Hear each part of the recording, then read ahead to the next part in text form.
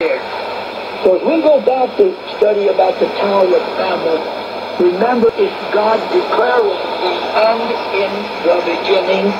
And uh, here we find one world, all speaking the same thing, all living together and having such powerful unity that they're literally actually going to build a tower up into the heavens. Thus saith the Lord. What a You want to be with me as I try to talk about the Tower of Babel and what effect it has on what's going on now here on the face of the earth. Because we are building a Babylon again, and in one hour, Babylon's going to fall. The Tower of Babel. Stay with me you will. May the Lord bless you.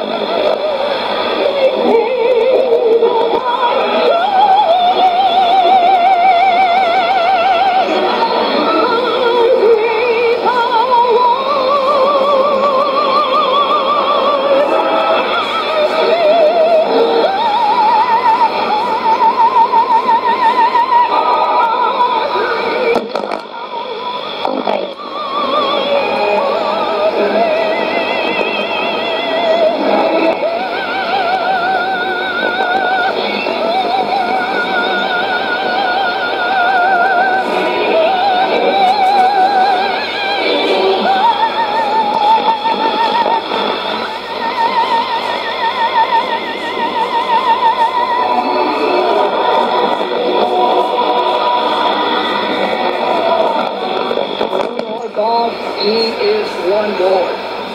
From Walterboro, here in South Carolina, in the United States of America, the Overcomer radio broadcast is on the air. This is Brother Stair, the voice, of the last day prophet of God. How grateful